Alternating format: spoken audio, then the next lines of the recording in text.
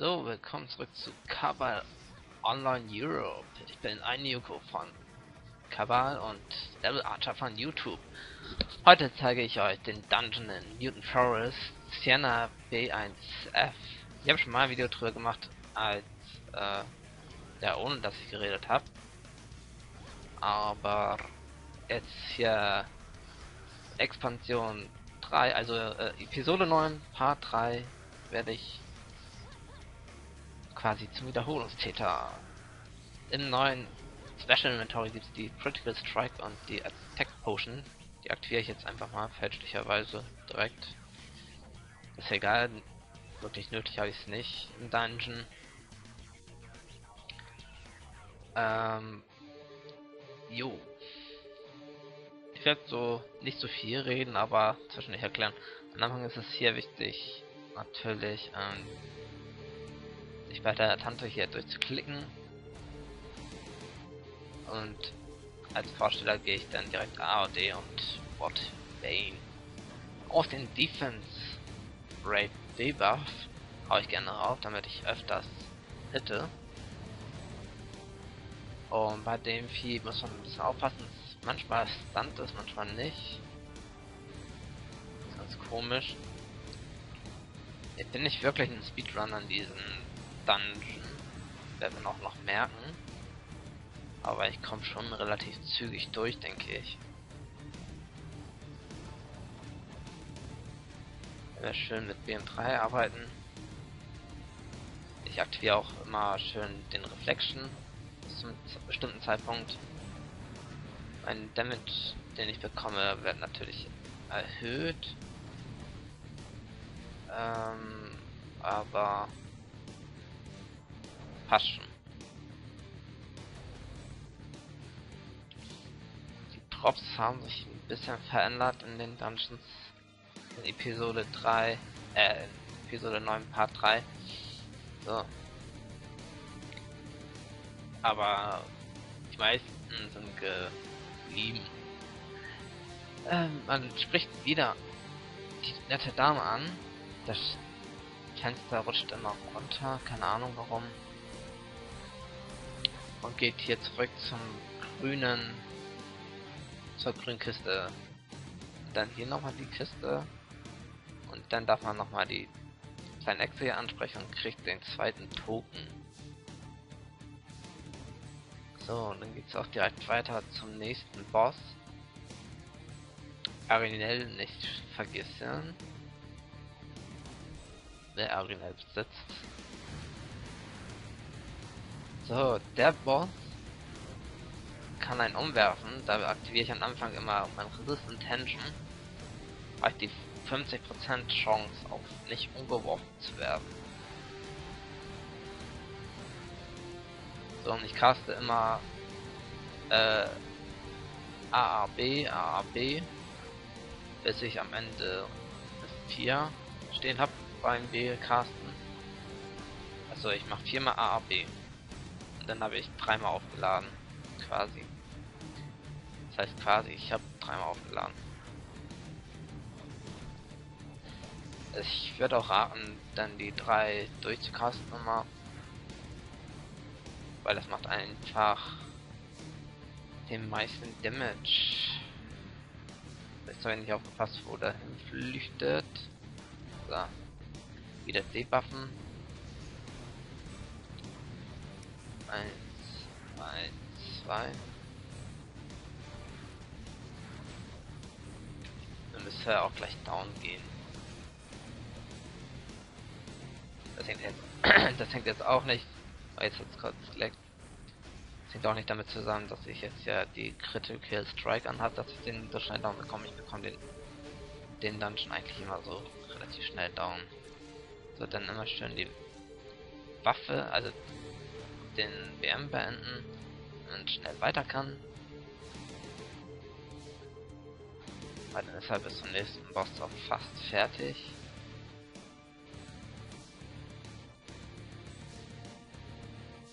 Ähm so, wieder diese Tante ansprechen und man kriegt den dritten Token. Insgesamt gibt es vier, nach dem Boss noch ein und dann Ja, wäre auch schon fast durch. Ne, so einfach geht's nicht, aber so. Man kann natürlich auch hier erst Raid aktivieren, dass man öfter krittet und ein bisschen die Defense runterschrauben. Und dann erst die drei Synergies durchcasten. Ist auch eine Möglichkeit.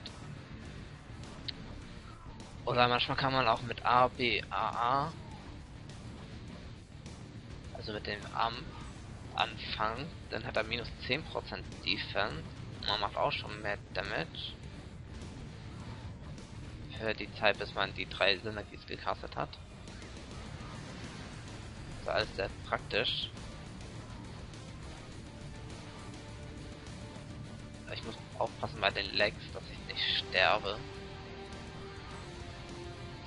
Die Lags entstehen natürlich jetzt, ähm, klar, sind zurzeit Lags auf dem Server, aber die jetzt sind vom Aufnehmen.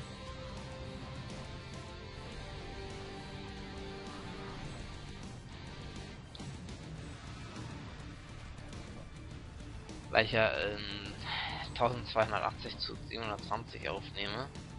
Also äh, 16 zu 9 HD ready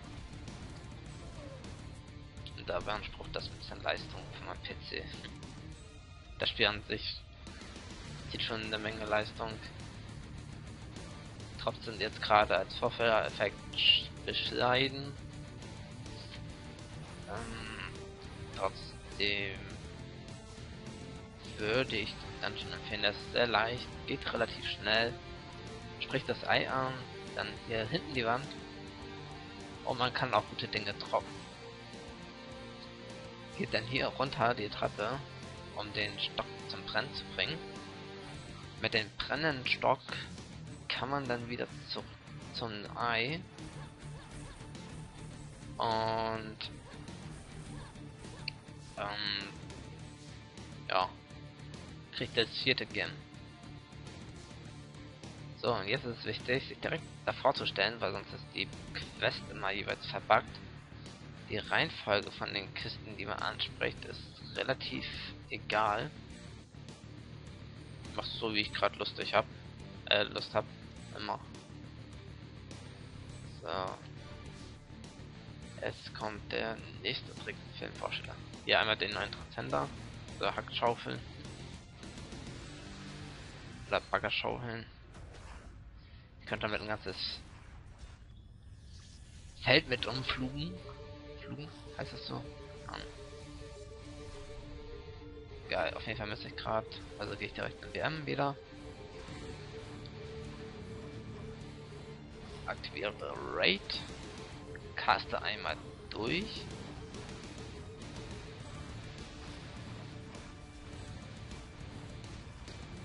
So, gleich geschafft. Und aktiviere Motivate mit Reflexschild. Der Penner hat mich zum Lenken gebracht. Also aktiviere ich kurz den Energie Custom neu. So, jetzt ist es wichtig, den hinteren im Visier zu nehmen.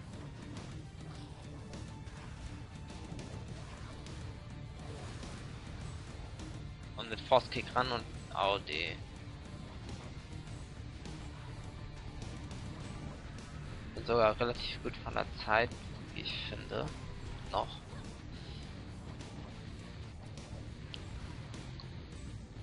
Das ist natürlich jetzt doof mit der Defense Fade down machen. What the Patchoon. Nee. Und gleich mache ich etwas.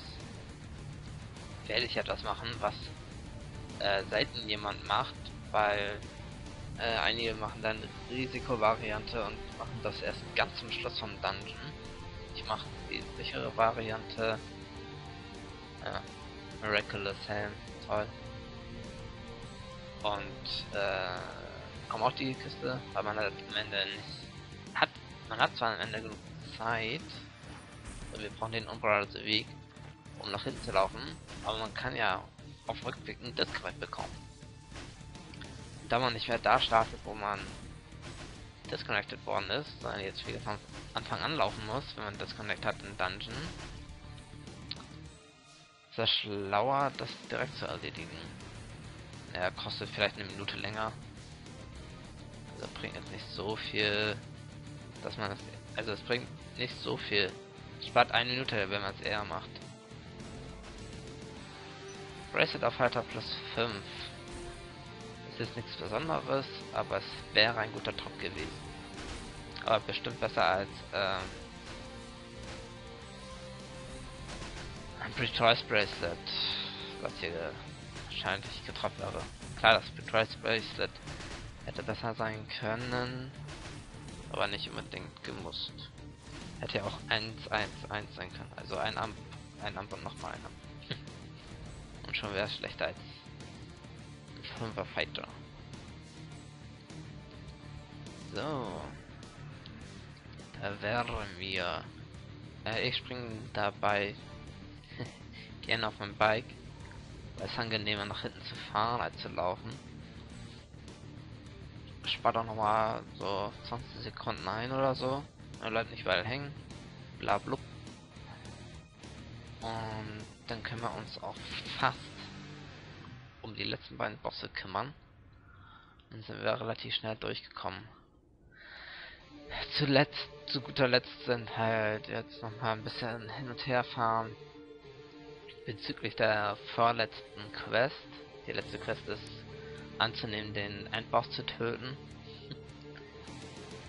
Und die vorletzte Quest ist sehr viel Laufen.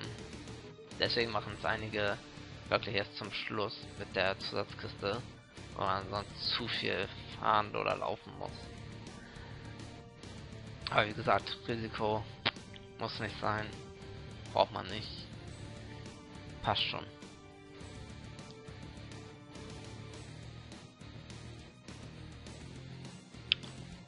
Also geht's dann weiter. Wir sind da, wo wir zuletzt waren. Jetzt im nächsten Raum. Ich spreche den Altar an und muss muss noch mal zurückfahren. Da wo wir den Umbra Weg gekillt haben. Dürfte es dann ungefähr sein. So, noch einmal hier runter. Und wieder hoch. Und diesen Altar anklicken. Bam. So. Nun ist es bald soweit. Jetzt kommt der äh, fieseste Boss des Dungeons.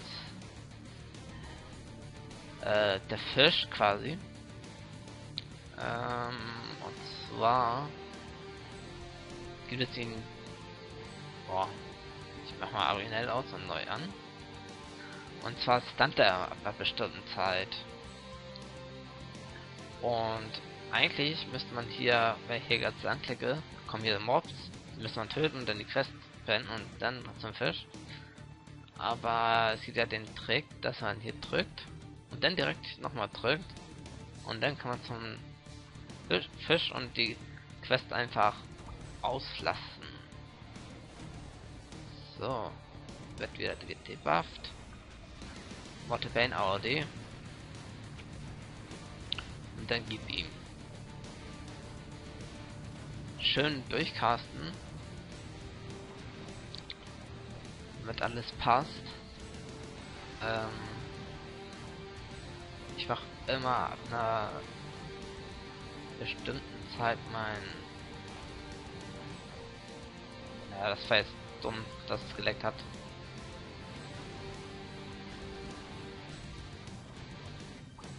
Ähm, mein Dingens an. Mein Resistant Tension. Aus Grund. Und jetzt warte ich, dass er seine Defense darum macht. Weil danach äh, greift er meistens an mit seinen äh, Dingens. Mit seinen Stun. Und somit kann man den ausweichen. Und down ist er. Und zu stun. So. Der erste Chor in diesem Dungeon, ich bin begeistert. Auf jeden Fall geht's jetzt direkt zum nächsten Boss. Ja, das geht wirklich so schnell. Und dann werde ich zum Schluss 15,5 Minuten gebraucht haben. Nicht schlecht. Ist fast äh, eine Bestleistung für mich. Hm. So ein bisschen besser stellen. So, direkt im BM.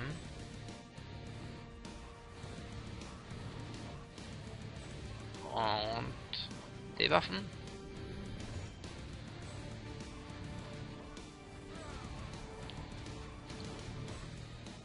Und einfach immer durchkasten, durchkasten, durchkasten. Ich habe auch beim letzten Event hier Attack und Damage gefahren. Beim Lion Event kann ich jetzt mal einsetzen. Schadet ja nicht.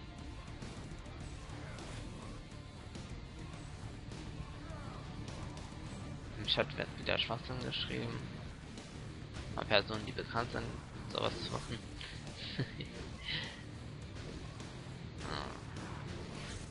So, weiter durchcasten, durchcasten.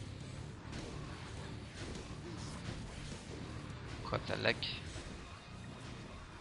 Und sobald Mortebane natürlich fertig ist, direkt reinspringen in die Geschichte.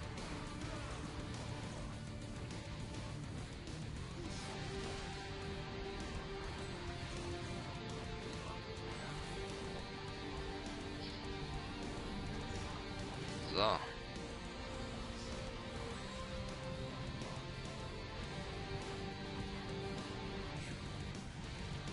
Da jetzt eine Tag-Anhebung meine, heilt er sich gleich kurz. Voila.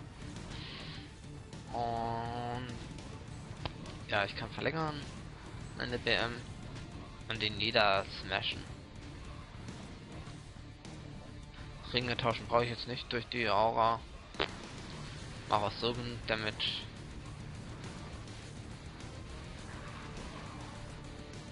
Sind wir hier 16,5 Minuten durch. So ein typischer Drop von nix.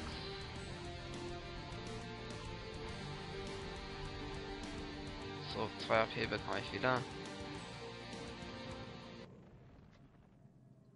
Springen wir noch kurz nach Port Lux. Hoffentlich geht das. Und dann kann ich mich tanzen stellen, während ich das Video rendere. Also, wenn euch das Video gefallen hat, Daumen hoch, ansonsten Daumen runter. Und wir sehen uns beim nächsten Video oder nächsten Projekt, je nachdem wo ihr reinschaut. Bis dann und ciao. Euer Devil Archer bzw. Nyoko.